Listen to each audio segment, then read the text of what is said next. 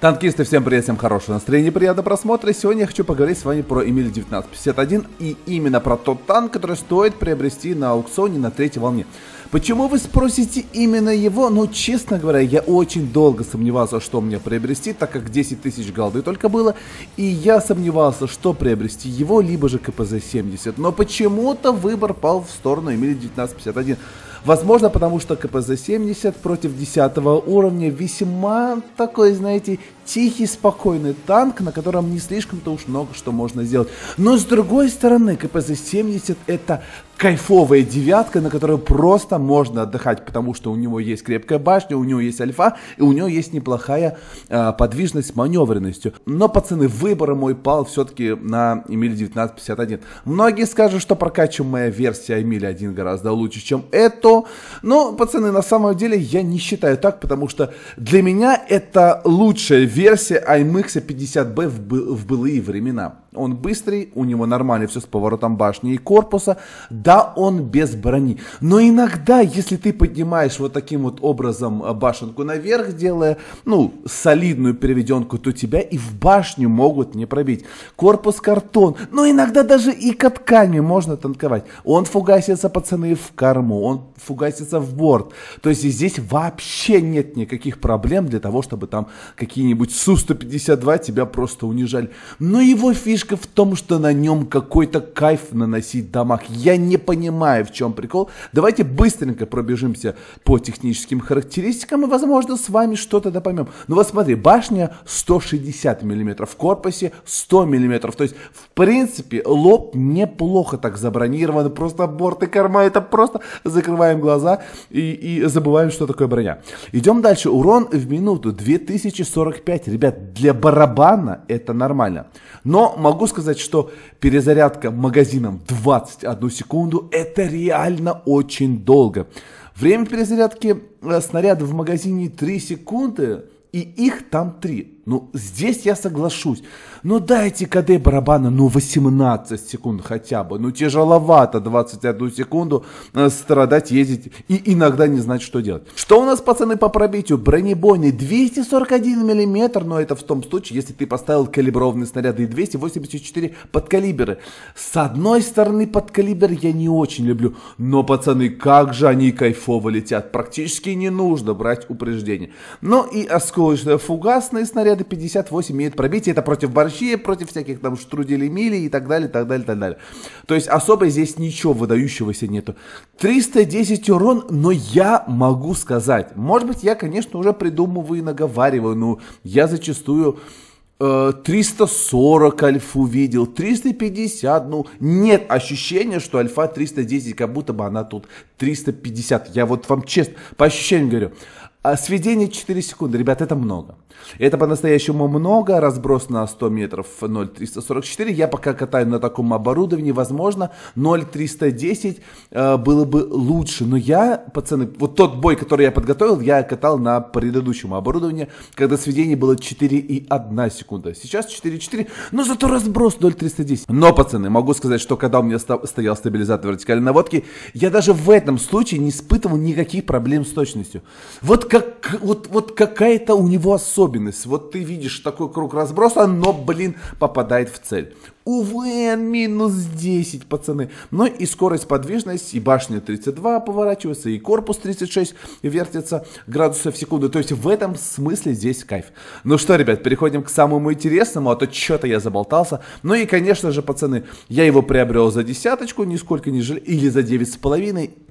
И приобрел, спасибо огромное Виталику, еще приобрел вот этот вот замечательный камуфляж. Ну как это танк э, в PBR да еще и не в легендарочке. Ну это просто какое-то преступление. А, еще я навесил на него вот этот вот пулеметчик и считаю, что он очень гармонично выглядит.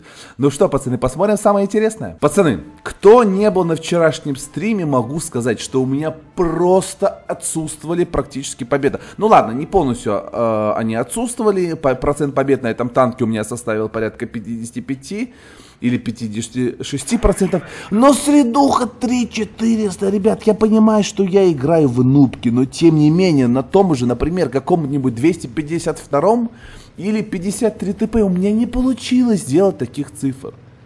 Ну просто вдумайтесь, три практически с половиной тысячи. И я, я вам отвечаю, ребят, что не бой, то какой-то настрел. Даже, даже в сливах, пацаны, даже при сливах я наносил там от 3000. То есть он за счет того, что ты понимаешь, что у него ну, практически нет брони, ты сам будешь на этом танке играть более аккуратно. Вот, то есть ты не будешь лишний раз подставляться, как на каком-нибудь там 252-м, либо же Тигре 2, думая, что сейчас я все танкану. Ты играешь аккуратнее. Ты, э, вот я, по крайней мере, стараюсь стрелять выверенно и пробивать каждую тычку. Все, пацаны, тысяча урона практически у меня есть. И реализовать барабан на этой штуке достаточно просто. Вот, и быстро, кстати говоря, я вот только сейчас заметил, что в меня, блин, по-моему, кто-то пуляет. А тот бой же, блин, как же он не в тему здесь оказался. А, то есть, если ты отворачиваешь башню, ну, и ты видишь борща, отворачиваешь башню, ты как бы понимаешь, что у тебя сейчас прилетит, прилетит скорее всего, фугасом. Вот, а ФЦМ пытается что-то там танковать, но не стоит. Ребят, здесь я не стал выжидать, я не стал выцеливать там вот этого бедолагу на среднем танке, я дал наверняка по чифтону, потому что мне нужен урон. Две тысячи! Уже настреленного урона есть. Два барабана, два косаря. То есть, по сути, а, а, еще бой даже можно назвать затяжным, потому что никто еще не отлетел. Но он сейчас будет, наверное, отлетать э, в ЦМ-50 Я же говорю, что э, иногда... Я, я не знаю, каким образом он танкует. Пробитие, ребят. Да посмотри, это я, я извиняюсь, кто не любит, когда я ставлю на паузу. Это тигр. Не смотрите на башню, я говорю про корпус. Это тигр выглядит так на обычных ББшках. То есть, если ты заряжаешь под калибр, он у тебя весь полностью серого цвета. Я понимаю, что тигр сейчас особо не доворачивал, но тем не менее, ребят, на таком расстоянии мы просто насквозь пробиваем тигра. И вот здесь я практически совершил огромную ошибку, потому что я только думаю, сейчас нужно, наверное, поддавливать. И только минус борщ, минус Type 62. У нас уже минус трое, у них всего лишь минус один. Я думаю, ну все, попал я, потому что фульный ВК-100, борщ, который меня, естественно, сейчас будет пробивать. Но я здесь, я, я не знаю, зачем я тут подставляюсь, но тем не менее так вот, так оно случилось. А, ребят, гораздо приятнее э, быть не пробитым, я не знаю, как это правильно сказать, гораздо приятнее получить не пробитие, если ты на это не рассчитываешь, и гораздо более обидно, что тебя каждой, сука, тычкой пробивает, когда ты якобы на броне. Вот гораздо приятнее танковать на Эмиле, когда ты на это не рассчитываешь, чем получать э, пробитие за пробитием на каком-нибудь мега бронированную 252. Это факт, пацаны.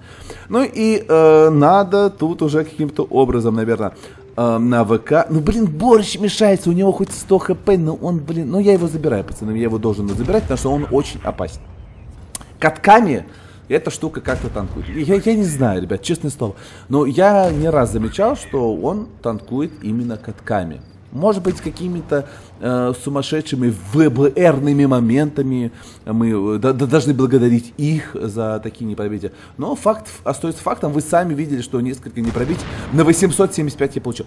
И тут я понимаю, 4600 урона надо просто лететь и попытаться, во-первых, забрать э, Тайпа 62 и, во-вторых, найти Штруделя Эмиля. И, возможно, будет 4 фрага, и тогда точно, пацаны, медаль мастера у меня в кармане. И, кстати говоря, этот бой, по-моему, э, Мастерос был, если я не ошибаюсь, вторым.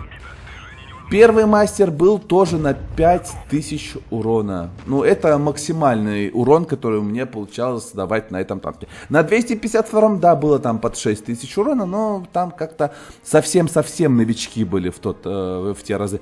Итог. Пять с половиной косариков, заблокированы 1300. И давайте посмотрим, что по итогу фарму. 250 тысяч фарма, ребят, ну не кайф ли это, а?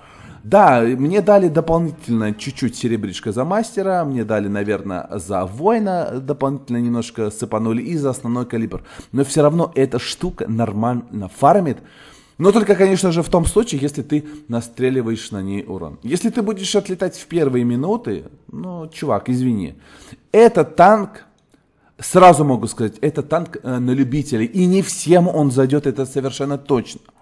Но мне он нравится больше, я всегда это говорил, что он мне нравится больше, чем, например, даже если сравнивать с Эмилем 1. Эмиль 1 для меня, ну, очень тугой.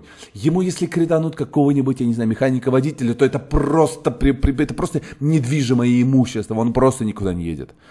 Здесь такой проблемы нету. Я вот за 30 боев, или сколько я на этом танке отыграл, могу сказать, что каких-то явных критов я не ощущал.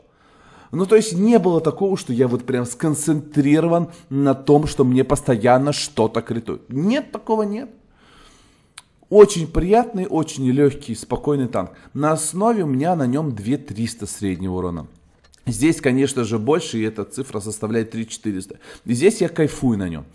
Танкисты, я, я очень надеюсь, что я вам помог сделать какой-то правильный выбор. Эмили 1951 определенно точно стоит для того, чтобы его рассмотрели э, при покупке в третьей волне аукциона. Но всегда выбор стоит, конечно же, за вами, потому что это все-таки танк.